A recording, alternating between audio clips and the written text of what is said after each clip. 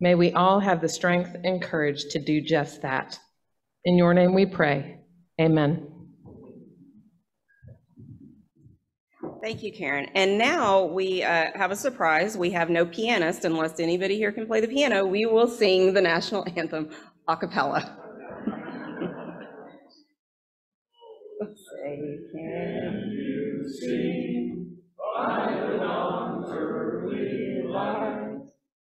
So proudly we hailed at the twilight's last gleaming, whose broad stripes and bright stars through the perilous fight for the ramparts we watched were so gallantly streaming, and the rocket's red glare,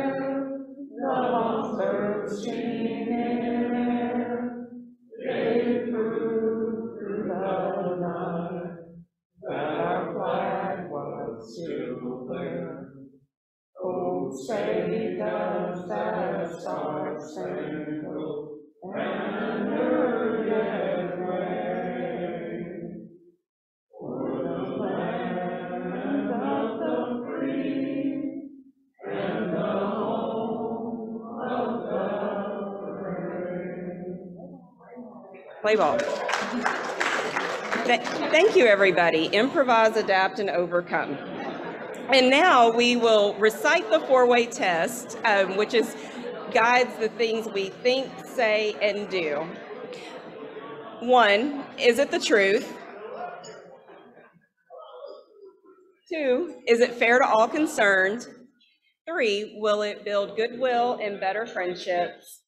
Four, will be beneficial to all concerned? And now we welcome to the stage Dr. Joe Michaels, Managing Principal, Solomon Bruce Consulting, to welcome our visiting Rotarians and guests. Thank you, Madam President. We're very fortunate to have many visiting Rotarians and guests with us today. Chris Nettles is here with, uh, sponsored by Jim Austin. Chris, where are you?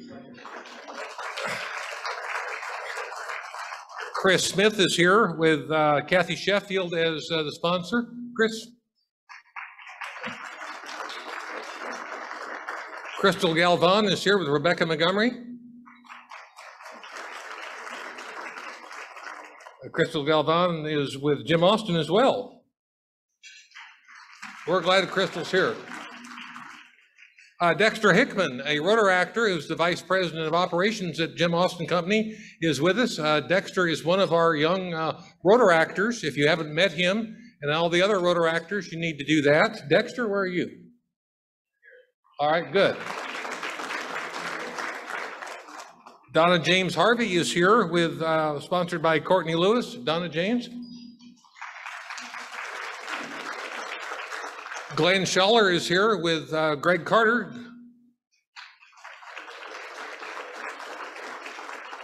John Avila is here with Bob Mitchell. John? Justin Tabor is here with Jim Austin. Justin? Mackenzie Carolon, the Vice President at Linbeck, is here with Shanna Saldana. Our Mayor, Mattie Parker, is here as a guest to Courtney Lewis. Mayor?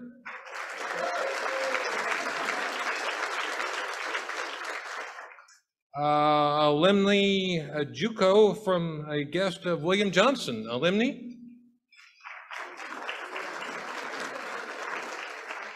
S- Steve Montgomery is here with Rebecca Montgomery. Steve? Sutton Cole got to come with uh, Jeff Postel. Sutton?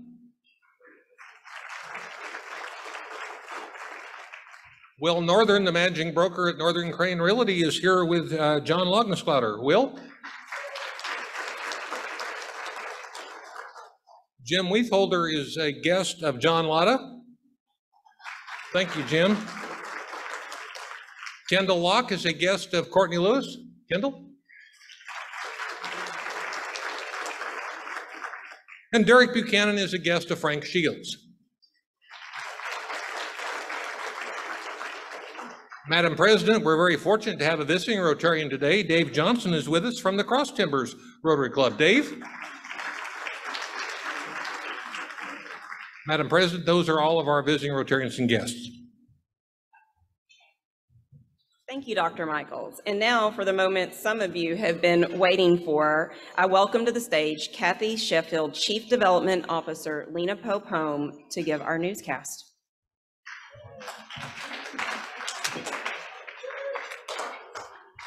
Thank you.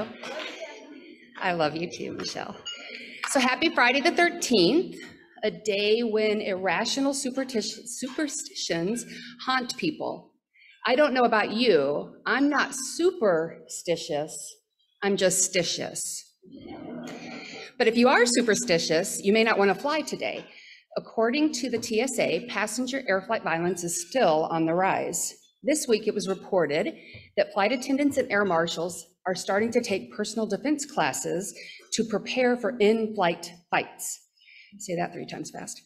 These are not your ordinary personal defense classes. These classes are being taught by MMA fighters. For those of you who may not know, MMA is mixed martial arts, sometimes referred to as cage fighting. It's a no holds barred, ultimate fighting, full contact combat sport based on striking, grappling, and ground fighting. And you're probably wondering what's going to make this story funny. It's not going to be the punchline. Thank you. Um, Dallas County uh, joins a handful of Texas counties in suing Texas Governor Greg Abbott over the mask mandate and election rules. In fact, the list of counties and school districts suing the governor over the mandate grows daily. In response to Governor Abbott's um, situation, he has hired a team of MMA fighters to train him for his upcoming legal battles. See what I did there? Okay, speaking of masks, many school-aged children this week had the return of school, going back to school. Parents need to know that the Fort Worth ISD has recently began imposing a mask mandate. Colorful themed logoed masks are very popular, kind of like these. Um, However, you do not want to put your children in a Dallas Cowboys mask because the CDC has concluded they provide absolutely no defense.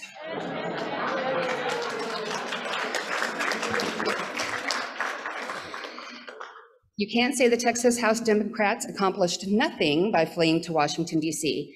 They left Austin with one case of Miller Lite, but while they've been in our nation's capital, they've picked up six cases of corona. Speaking of our road tripping Texas legislatures, did you hear that they finally decided to come back home? It wasn't the public shaming or even the sergeant at arms arrest warrants that brought them home. It was Bud Kennedy's article on the increased use of meat substitutes at local Texas Ranger, or Texas restaurants. I don't know if you read, read that or not, but they talked about the eliminating, sadly, the eliminating role of cows in the Texas food change, food change. So why are the Texas Democrats coming home? Well, even Texas Democrats like beef on their burgers. Thank you. And finally,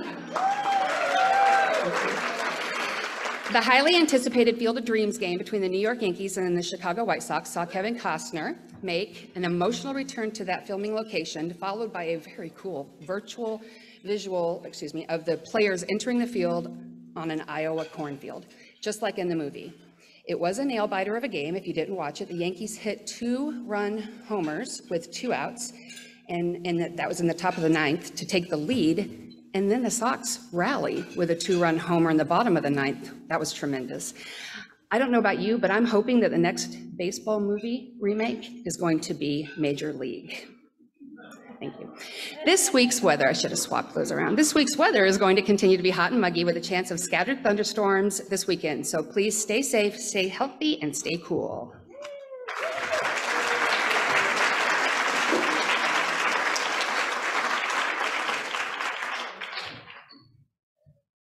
Thank you, Kathy. And, and so today we are going to, we're going back to school as we start a new series called Rotary Rewind, where we learn a little bit about our club's history. So here is Professor Past President J.R. Labby to give us a history lesson.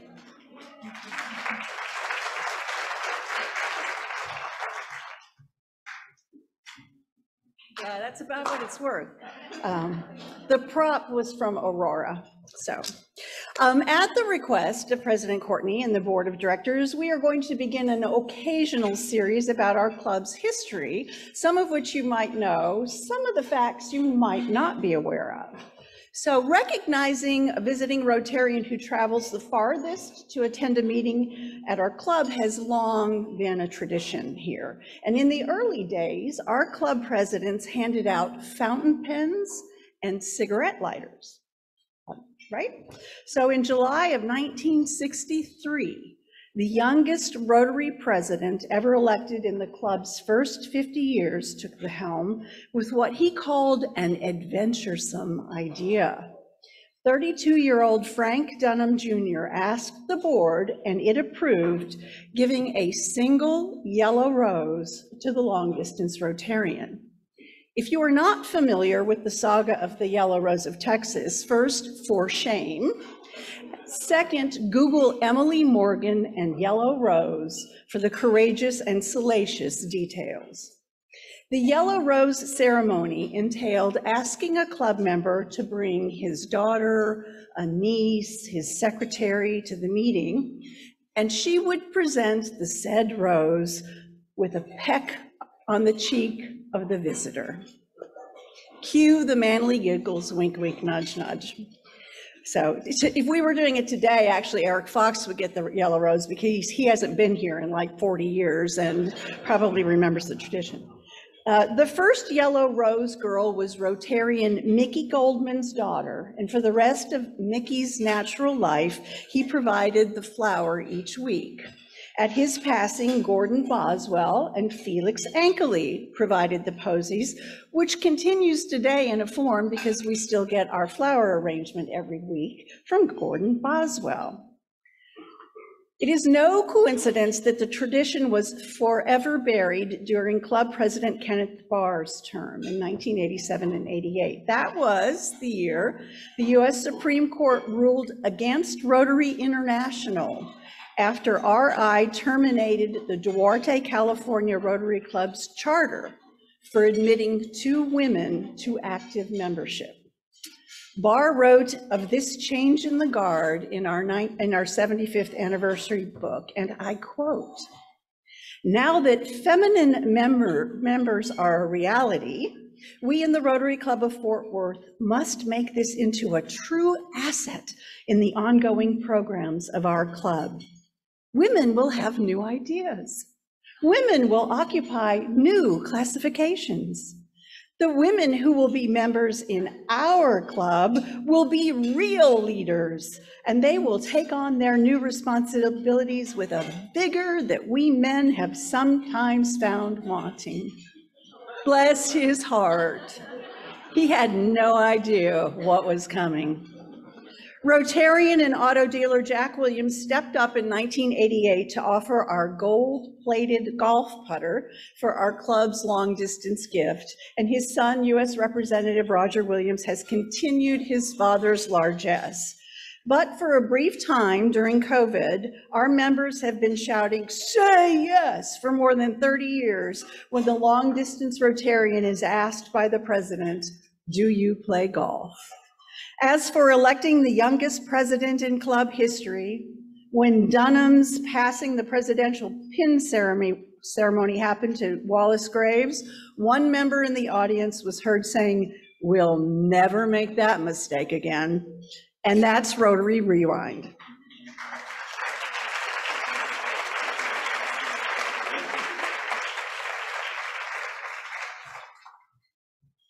Thank you. We're, we're glad women are now welcome in Rotary. Uh, And now we welcome to the stage Elliot Goldman, founder, GL2 Partners, for a check presentation.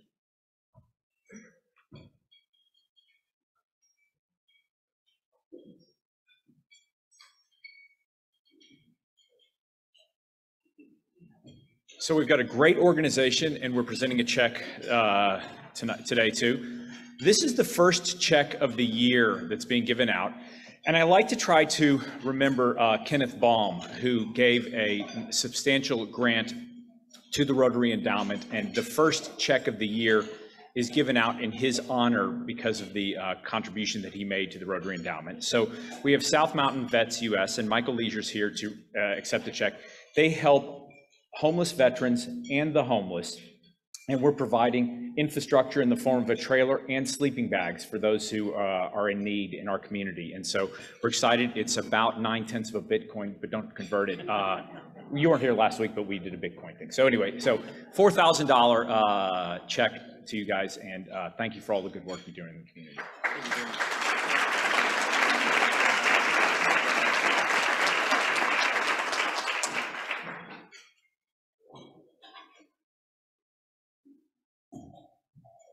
And now for a new member introduction, we welcome Michelle Krim to the stage and Samantha.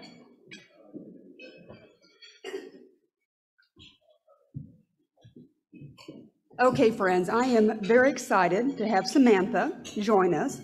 Many of you remember her from earlier this year. She was the recipient, actually the first place winner of our first minority business competition. I met her about two years ago during the Fort Worth Business Plan Competition. I knew her then by her nickname, Harley. And it was kind of funny during some of the emails earlier with Rotarians, I kept calling her Harley. And they're like, who the heck is Harley? Well, it's Samantha. So she also runs a nonprofit along with her business. So I want you guys to join me in the Snoopy Happy Dance to welcome Samantha to our club.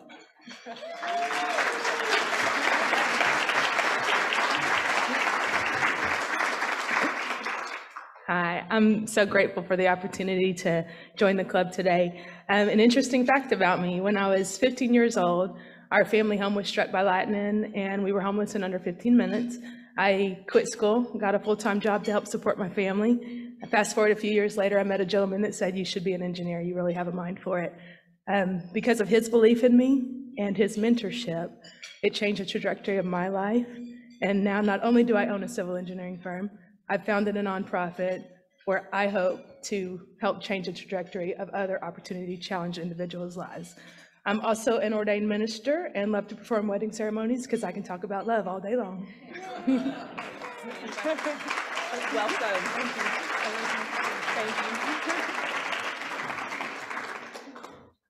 And now we welcome to the stage our chairman of the day, William Johnson, Director of Transportation and Public Works, City of Fort Worth, to introduce our program.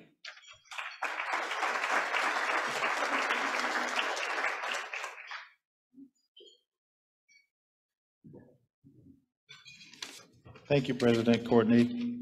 Good afternoon.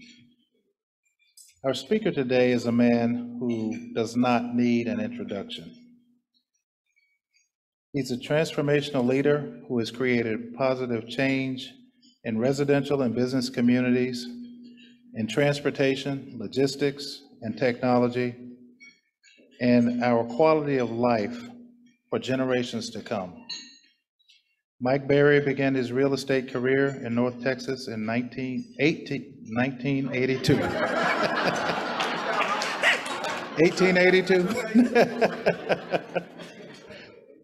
Um, And he's been involved in real estate development projects for over 38 years.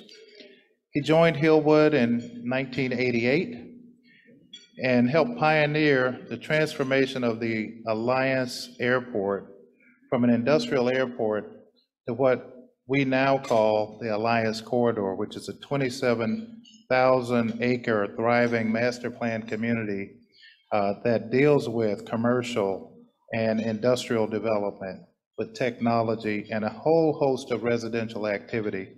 It accounts for over $92 billion in economic value to our communities. Mike heads the Hillwood Urban Group and has led similar regional transformational developments in Frisco, Dallas, Fort Worth, and other parts of the region. Mike's imprint on North Texas landscape has earned him numerous honors throughout his career, including his induction into the North Texas Commercial Real Estate Hall of Fame in 2013, and his receiving the Golden Deeds Award in 2016. North Texas looks to Mike, all of North Texas looks to Mike and Hillwood for, as a resource and as leaders. But here in Fort Worth, we have the honor of saying that he lives and resides right here in Fort Worth uh, with his wife and his children. With no further ado, I would like to introduce Mr. Mike Berry.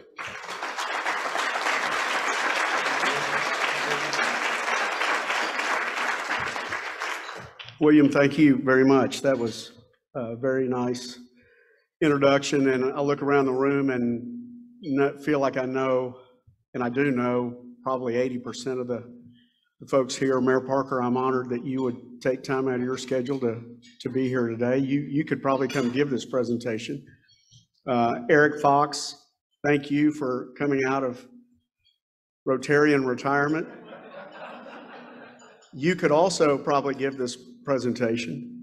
Um, But anyway, thank you for the invitation to be here. I, I haven't, I know years ago, Ross Perot Senior spoke to the Rotary Club of downtown Fort Worth when we first announced Alliance, and then Ross Jr. has spoken over the years, and I've actually had the pleasure of, of speaking. So uh, this is a return visit, but hopefully I'll give you some updated news and, and information about things going on. I'm going to spend the first part of the presentation just bringing you up to date on the things that are happening in the core alliance development and some of the new projects that we're working on. But emphasis will be towards the end on the things we're doing now in mobility innovation and um, the, the exciting opportunities that exist really for Fort Worth and, and the whole region in terms of being a leader uh, in the future of mobility innovation. So I'll spend a lot of time talking about that because I think we've got a platform here uh, that can position us to, to truly be the, the center of North America for advancement of, of these new technologies. Um, Just historically, uh, William mentioned uh, the start of Alliance Airport. That was actually, we broke ground on the airport July 9th, 1988.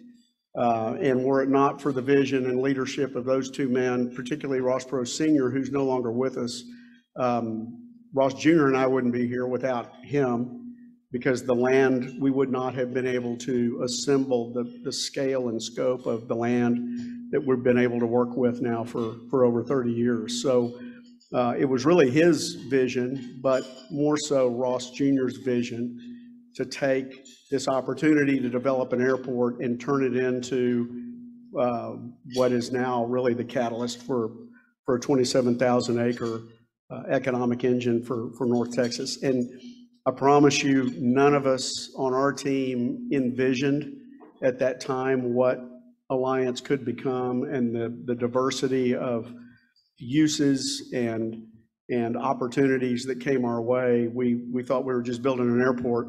Um, But he, Mr. Perot would drive us to think outside the box back in those early days. He would really press us, and I think that's, that has a lot to do with, with how we've achieved uh, the things that we've been able- to achieve. Hillwood as a, as a company grew from the roots of Alliance. So everything we're doing now at the, on the national level, uh, really we learned here at Alliance, and we've just taken it and, and found ways to, to expand around the country. We've got a, a huge industrial platform now. We're in 27 different states. We're in three European countries, uh, but nothing at the scale of Alliance. Alliance is still the, the legacy project for, for our company. We've also expanded in, into residential master plan development, and it's been a huge growth opportunity for us. Once again, North Texas has been our, our core home. Um, And then from that, other real estate uh, uh, core lines of business have, have evolved. Uh, This is, this is where we are today. So really, starting from the development of Alliance Airport 33 years ago, we've now grown the entire uh, Hillwood platform to, to that, that scale. Uh, This is, William mentioned some of the uh, economic impact statistics. This is really the, the entire 27,000 acre platform of, of Alliance, stretching all the way up and down Interstate 35W, almost to Denton, uh, all the way down to the 287-35 split. So it's not you know, if you're familiar with the Irvine Ranch, say in Southern California, which is a huge 40-plus thousand acre development, it's one contiguous piece of land that was original ranch. This is really not. This is something that we have strung together over the years, but it gives us incredible opportunities to develop a wide variety of, of things and bring a lot of different uses to the table because we can create these pockets of development that fit different sorts of activities that we want to pursue. Um, Our last big piece of development, which we're about to open up, is that big blue block on the north. That's called Hunter Ranch. It's 3,500 acres, and it'll be the last big piece of, at least what we own today, um, that will be a, a large master plan development. But the core is really in that dark blue uh, piece in the center, uh, which is what I'll focus on. Uh, There are now 63,000 people working uh, at Alliance, uh, over 530 companies represented, many of those, and I'll show you a slide here in a minute that, that'll show you the, the brands of the, of the major companies that are there today. But um, I think that job number is the one we're most proud about. The 63,000 jobs, as you all know, fuels a huge amount of economic impact. Every one of those people not only has a job, but they become a taxpayer, they become a homeowner or an apartment renter, they, they buy groceries, they go to restaurants, and that multiplier, that churn of those dollars really does have a broad impact across the whole region. And, and we try to measure that uh, each and every year, and we report to the city council every year on, on the economic impact of, of that program. There's also over 50 million square feet of real estate that's been built uh, on the ground out there. So it's a, it's a significant um, amount of, of space. Our roots are industrial. As I mentioned, we started with the airport, and we really didn't know what we were doing, to be totally honest with you. Nobody builds spec, speculative airports in this country. Um, And I really didn't know, I was the first employee, uh, other than Ross, and, you know, he said, come on, just come and let's do this airport. And I didn't know anything, I'm not a pilot, didn't know anything about aviation. I knew some about real estate development because I'd been in the business prior to, uh, but it was really sort of throw it on the wall and see if it sticks. And what we learned pretty quickly is really the, the airport, although it wasn't the real driver for our initial decade of business development around Alliance, it was more, it was the iconic flag. It was the thing that got people's attention and brought them to see. And what we, what we actually worked with was rail, highway, power, water, sewer. Those were really our, our strong um, uh, platform selling tools. The airport was really more of, of the, the glamour side of it. But it really did allow us to build this idea of a truly integrated, international, global logistics hub, which didn't exist anywhere in the country at this, at this scale, where someone had brought together all of these big pieces of transportation. So we kind of lucked into it. Our biggest partner um, that emerged as still one of our largest and most important clients is the Burlington Northern Santa Fe Railway. They, they now operate the number one largest inland port in the United States at Alliance. So we are, imagine, we went out to, imagine going out to the ports of LA and Long Beach, carving out a big piece of the port and bringing it and dropping it right here in Fort Worth. That's, that's what we did. And once again, we, we couldn't even spell intermodal in 1991.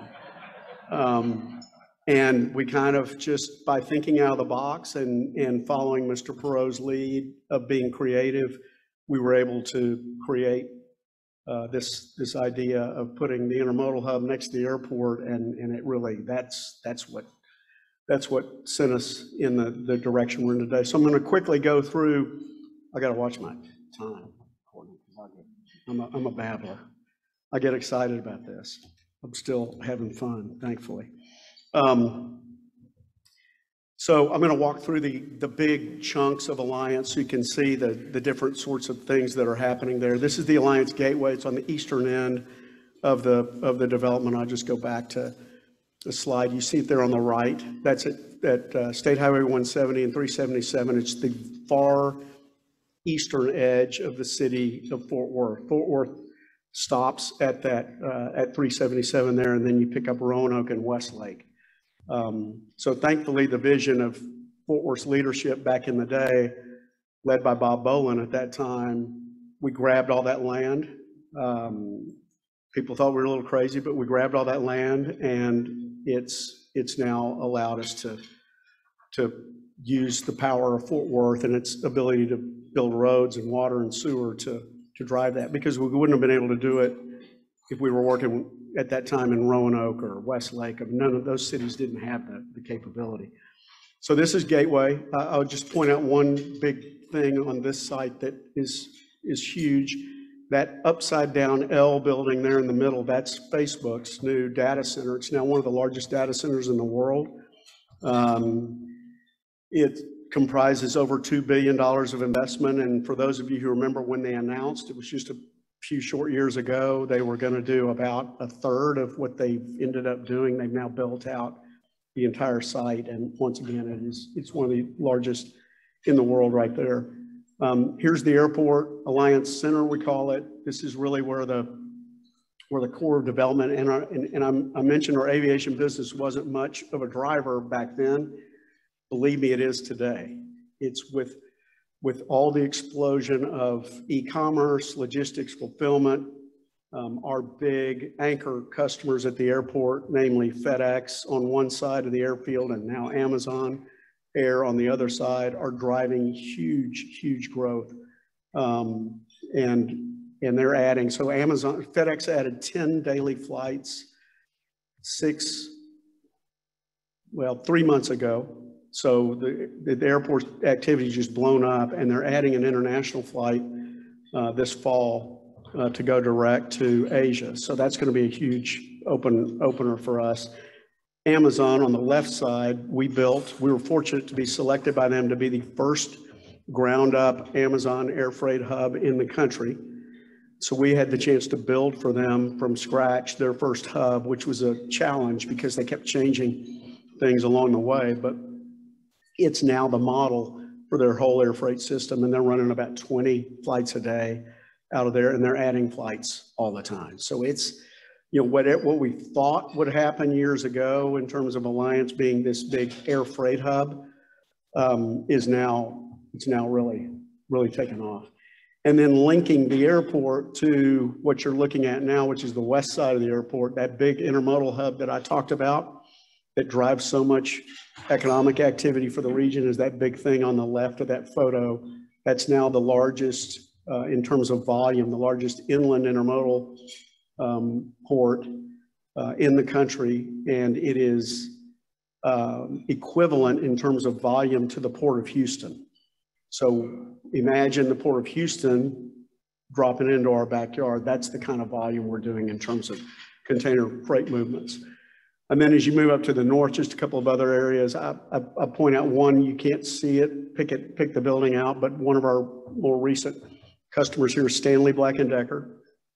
They brought all of their manufacturing back from China and they picked Alliance as the place to, this for Craftsman Tools. They picked Alliance as the place to locate that. So they just built and opened their brand new automated Craftsman 2.0 tool factory. And it represented 300 jobs that had been offshored coming back to the US, which was a great, a great story. And, and we're, so we're trying to grab onto that and bring, bring more, more of those types of users here. And then uh, last area, uh, just up by the Speedway, you know, we bought this land like four years ago because we thought we were running out of land for industrial development. We started, we put a plan together and we started building our first building and, and we're now built out. So it's gone, it's done. Fully leased, fully built overnight. Crazy.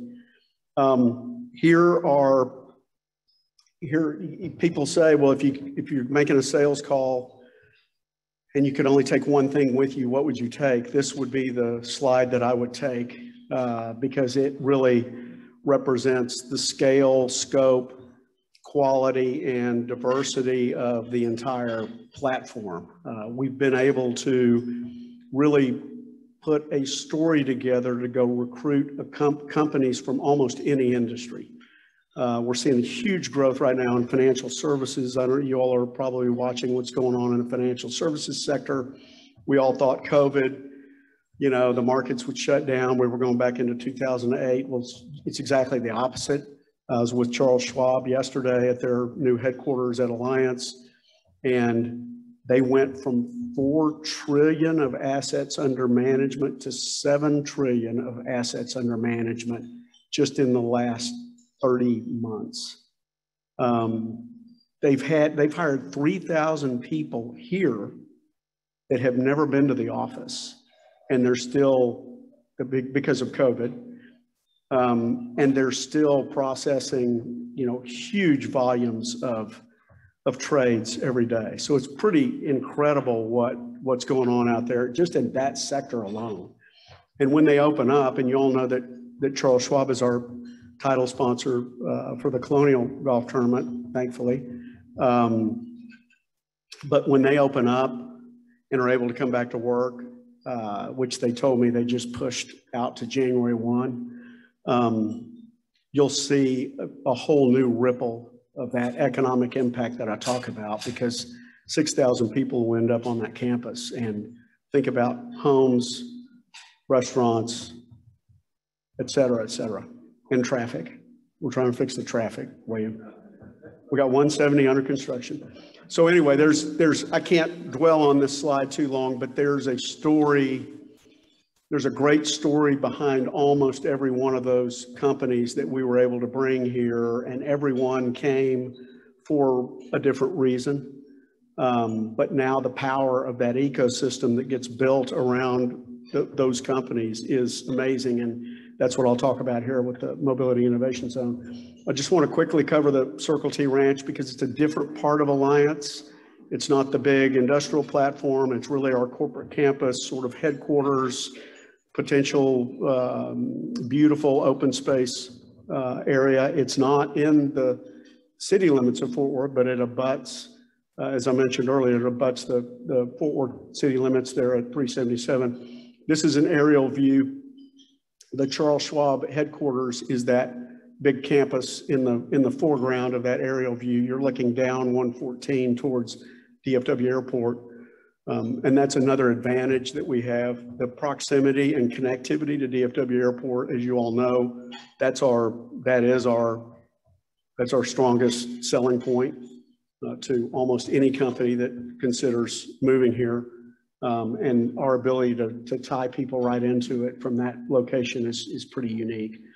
Um, We are working on a plan right now to develop a large regional park system. We've hired um, a a world-renowned park planner named Thomas Woltz, and he's designing uh, a huge park system for us that will run through the center or the, the western side of the Circle T, and that will create some opportunities to do some very unique corporate campus headquarter type sites.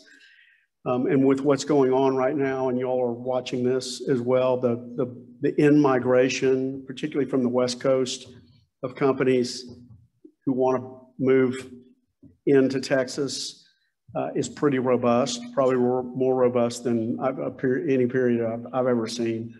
Um, and we feel like there's some opportunities for us to capture some of that business here and give companies a very unique sort of heavy green, heavy open. I mean, ESG, you all are reading about ESG. ESG is driving a lot of major corporate real estate decisions now.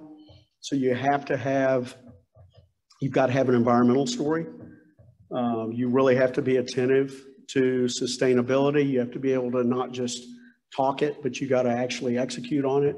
So we're spending a lot of time now trying to make sure that we are schooled up and we're building into our platform a, a very um, real uh, sustain, sustainability uh, story.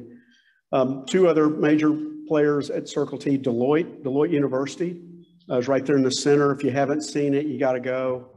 Uh, it's it's hard to get into because they're, hey, they're they do they open it up only for their associates, but it is truly a world-class learning center uh, that they use for uh, corporate leadership development, sales training across their whole network, but they're bringing in 50,000 people a year through Deloitte University from their network around the country.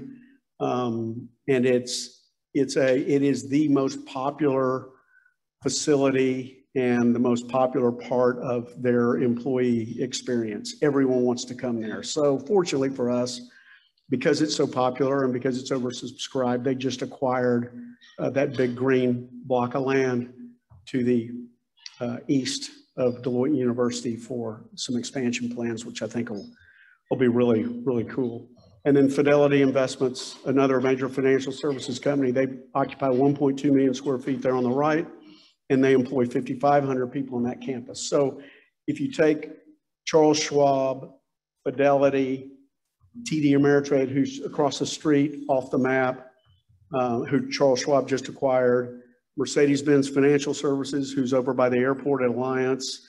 You start to add that whole story up, there are roughly 12,000 financial services workers in that, in that zone today, which is a very powerful driver for future activity and, and economic development.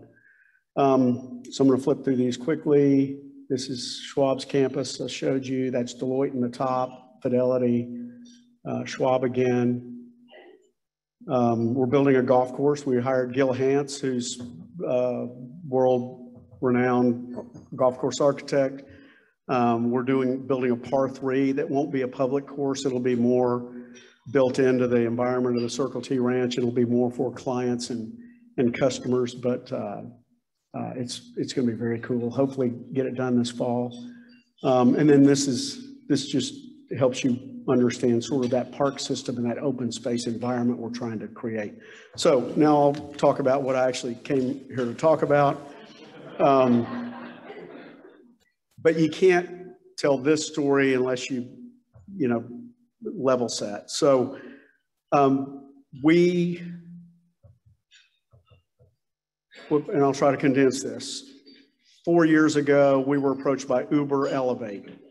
Uber Elevate was a division of Uber Technologies, uh, and it was Uber's effort to launch an urban air mobility platform, basically moving people in dense urban areas from one urban zone to another using what they call eVTOLs, which are electric vertical takeoff and landing vehicles.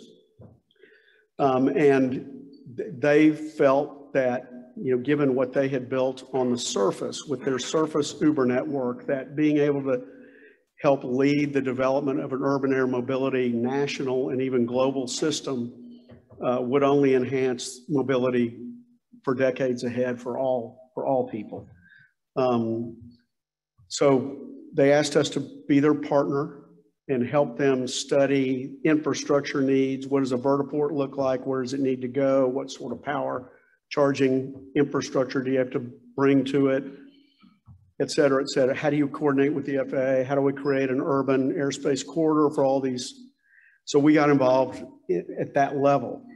The more we worked with them, the more we started coming back downstream and realizing that all of these technologies that are needed to, to fly these new vehicles through a new airspace system are all the same technologies that are being used by the um, autonomous vehicle people, the electric vehicle folks and the, and the, those that are moving autonomy, both people and freight. So long story short, we said, hmm, what a great platform Alliance could be to become kind of the test bed and the research center and the development center for all these technologies. We're already working with Walmart, Amazon, UPS, FedEx, BNSF. So we talked to all of them. Well, yeah, they're all studying it. They're using electric vehicles. They're using autonomous vehicles. They're using robots. They're using drones to test how we could deliver packages. So, and, and the Uber thing was still alive, but it was further down the road. It was not going to happen for another seven to 10 years and still probably won't. So we've kind of backed up and said, let's position Alliance to be the center for mobility innovation. And let's focus on freight, since that's what we know. And we have users who are in the business, and we don't have to build an incubator because we've got the biggest companies in the world who are involved in transportation. Let's marshal them and get them to help us bring the technology and entrepreneurial folks to the table. So that's, that's what started all. We put a brand on it called the Alliance Texas Mobility Innovation Zone. We started getting out there and selling and talking to companies and it started working. And this was maybe 18 months ago.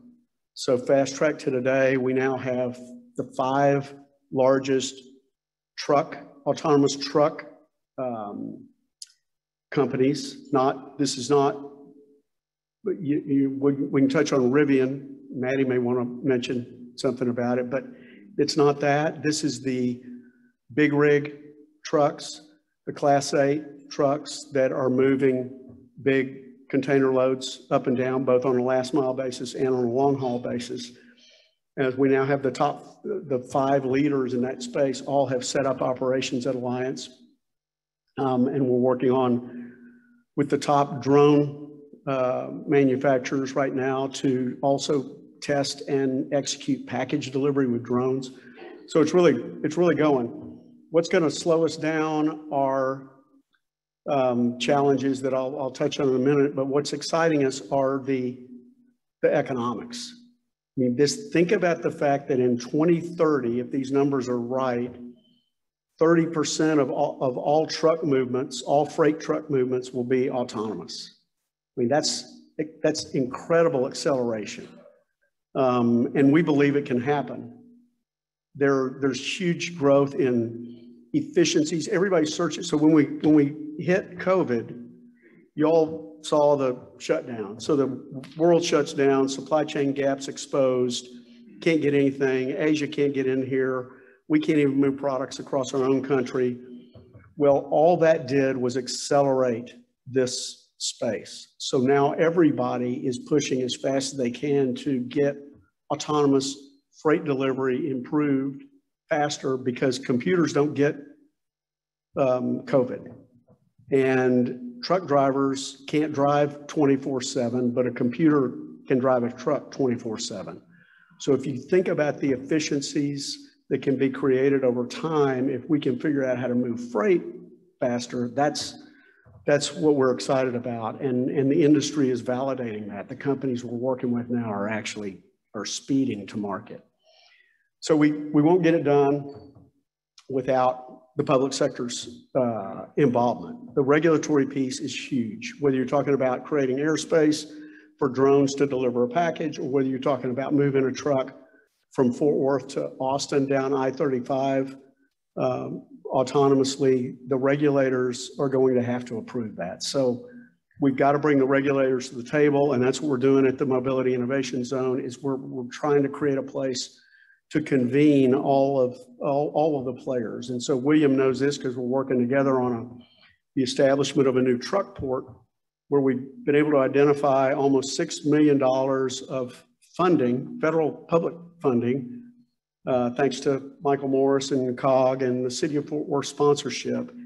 And we're going to put that money in the ground and build a fully automated truck port where these automated trucks basically come and do their transferring from the, the middle mile or the last mile to the long haul and vice versa. Uh, and it'll all be it'll all be data capture and uh, heavy power for charging systems, but it'll begin to show how this stuff can work, and then the regulators be able to see it. So pretty exciting. Infrastructure development also huge. Everything from 5G, you got to have 5G to run all this technology. The, the data transfer from these trucks is, is mind-boggling. I, I can't even quote the number of bits per millisecond that are coming off of these trucks because they're filled with cameras and sensors and LiDAR and everything else that you can imagine uh, to stay, you know, in line on the road and read everything that's happening. So you got a huge broadband capacity in our in our systems, in our our traditional infrastructure, and you got to be able to scale. So you got to create an environment where people can can scale, and then the interoperative interoperative operability is what I talked about, bringing all these systems together in a in a connected in a connected way. So lots of uh, lots of work to do. I'm going to just quickly finish. Um, these are the different we, we can basically create any use case you want. You want to move a package by drone from a, from a fulfillment, from an Amazon fulfillment center to a neighborhood, we can do it. You want to take a package uh, in an autonomous truck from the Burlington Northern Santa Fe Intermodal to the FedEx hub, we can do it. Uh, You want to pick up something with an autonomous truck at a, at a retailer, Best, Best Buy at Alliance Town Center, and take it into a neighborhood or bring it up to a distribution center for re, we can create that. So we really, back to the, the, why we're doing this, we, no one else in the country has a, has 27,000 acres. It's basically a real live, real world laboratory. Um, So these are the things we have to work with. Roadway systems, you know, without air, we control the airspace, so that makes it great for the drone folks to be able to operate. Um, These are our partners I talked about. You know, this, this slide was almost blank a year ago, and now we have truly all these partners coming to the table, and there are several others that I can't even mention because of confidentiality agreements, but we really are beginning to get some traction and some credibility by the industry being, looking at us as a true center for testing, development, and more importantly, commercialization, because that's what it's really all about. Um, I talked about what we have to work with. Uh, it, that, that freight hub is, don't underestimate the power of it going forward. We also have a flight test center that we built as a basically a miniature airport. So now we can allow these aircraft and drone folks to come test in a very controlled environment. And they don't have to go to the Mojave Desert or the Choctaw Indian Reservation to do it. They can do it in an urban environment. Um, so that's, I wanted to leave three minutes or so for any questions, but it, I, I think the, the, the closing message, and, and I think Mattie would agree with this because of what we're seeing as a region and as a city. We, we've got an opportunity. We can be the Silicon Valley of, of mobility innovation and the future of transportation because the roots are here. I mean, you got Lockheed, you got Bell, you've got huge, that, so the engineering talent, I'll, I'll digress for 30 seconds. Um, two of the leaders in this eVTOL space are, have bias towards our two biggest aerospace companies. One is biased towards Lockheed and the technology in the F-35. So they put a team of 10 Lockheed engineers together to develop their aircraft. And they may move here. They already have 10 people in the, in the city of Fort Worth, which I just found out a week ago. They don't have an office. I'm trying to build one for them. Um, and they're working, they're still working remotely. And then Bell, the other company, which is also a leader, and both of these companies have SPACed, by the way, so they've got capital behind them, or at least they, you know, for a while they do. Um, the other one has a Bell bias. So they've hired 10 or more, no, 30 uh, former Bell engineers who are helping them develop their technology. So the, the, the expertise, the roots are here. We just need to, we got to go grab it and, and tell our story and get these early adopters here and up and running and the growth will be, will be incredible. So, um, okay, I left one minute. Any, yes, yeah, Bob?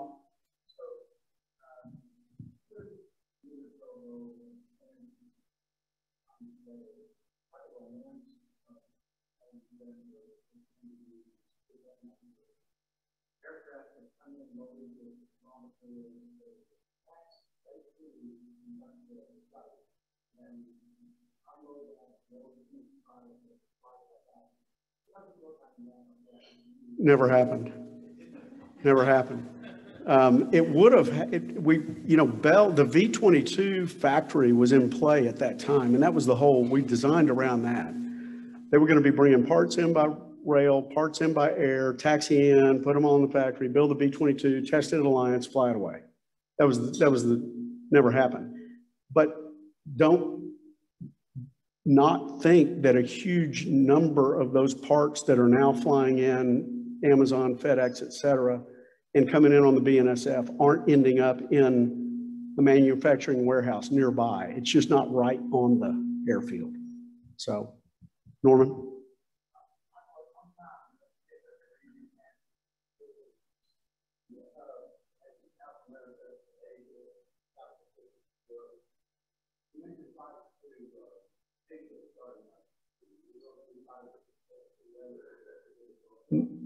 No, but I, over, we, we chased that South American market for a long time, and Miami dominates that, that flow because it's a great transfer point for stuff going on to Europe or being fed back into the US. I think we'll get some of that at some point in time. We're already getting Mexico uh, automotive parts coming back and forth uh, from Mexico. Um, the European market is just, I- think it all comes down to volumes. The Asian marketplace is still the, for us as a, as a consuming market, is still the dominant uh, player. So that's why the- all that focus is there. But I mean, ultimately, we, we have the capability of serving the globe from Alliance. So I'm hoping we, we grow it. Yes, sir.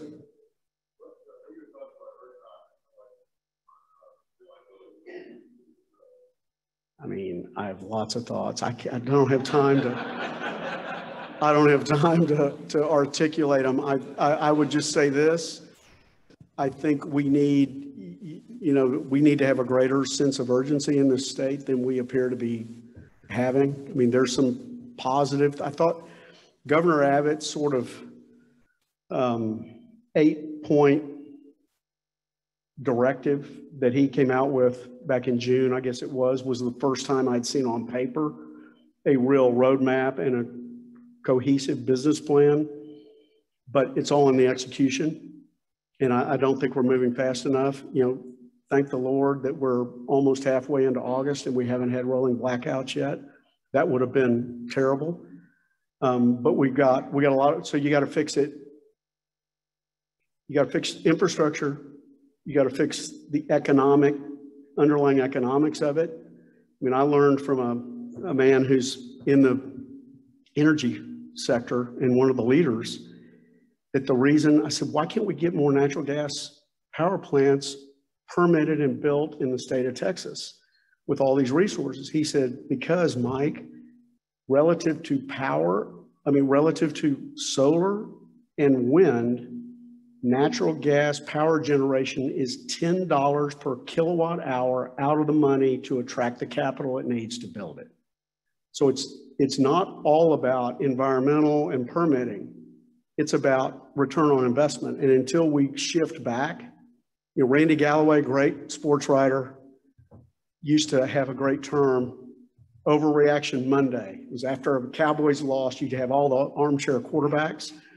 Well, I think when, when renewable energy became a thing, this, our whole state shifted its policies and focus and underwriting um, incentives towards renewable, and we slapped way too hard to the right.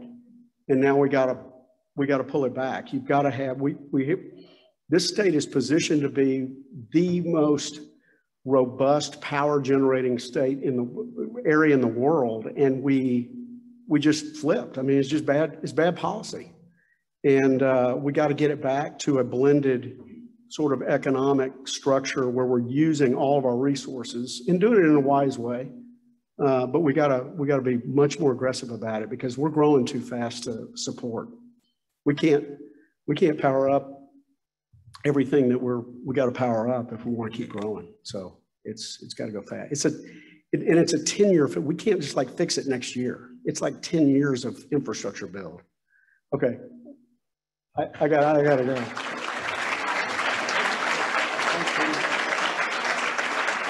As a token of our appreciation for your time today, a gift from us. Thank you. Thank you. Thanks very much. I went over. Oh, no, it's okay. It was a a fascinating discussion. Um, Okay, so a few quick announcements here as we close. Um, We do have virtual and in-person, um, oh, we want to thank our sponsors again. Bank of Texas, thank you. Mark Nerden, Frost Bank, Frank Shields, thank you very much for your sponsorship today. We do have sponsorships available. Contact Mark Moore if you would like to sponsor a meeting. Don't forget to go to the website and sign up for our next social event. It will be a happy hour at the Flatiron Building. Go online and sign up for that. And we have our clay shoot coming up October 1st. And then signups are also going on for the regatta, the whatever floats your boat. See Tim Halden for sign up there. And then next week's program is Dr. Kent Scribner, Fort Worth ISD. And with that, we are adjourned.